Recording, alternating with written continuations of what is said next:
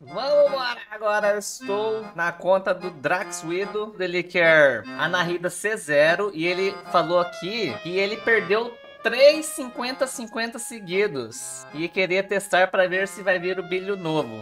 Vamos conferir aqui então. Vamos conferir aqui o histórico dele, como que tá. Se tá certo isso. Aí, ó, Tignari. Perdeu também, ó.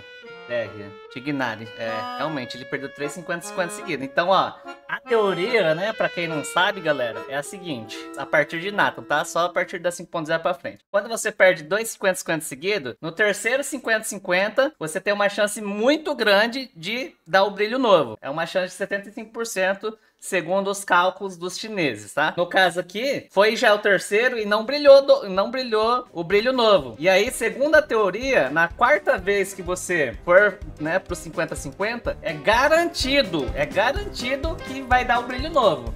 Vamos ver, vamos comprovar ela aqui ao vivo. Confia. Chiquinho, muito bom. Hulk não tinha.